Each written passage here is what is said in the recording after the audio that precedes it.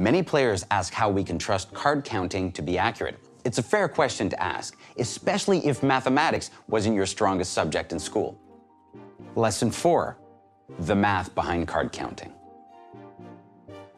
In card counting, we assign each card a basic value that directly correlates to their actual value when removed from the deck.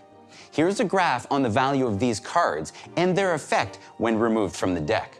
Obviously, trying to calculate these percentages while playing blackjack would be very hard, which is why we use plus and minus one.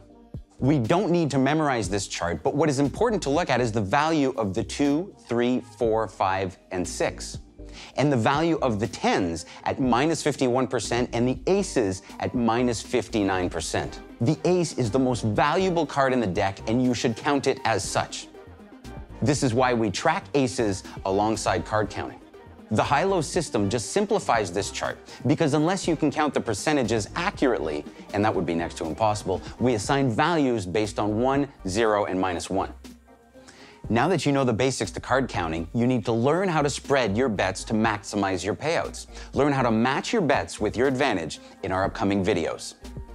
Thanks for watching, players. If you want to learn more, check out our guides on blackjack strategy through the link.